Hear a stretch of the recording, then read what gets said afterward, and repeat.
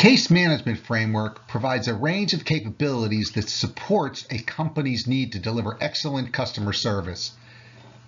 Customers contact the support services of their vendors with one of two basic requests.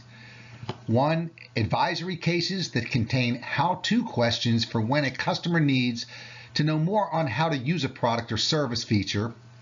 And secondly, break-fix cases that describe an issue with specific symptoms experienced while using a company product and where there is a reasonable expectation that the company product caused the problem.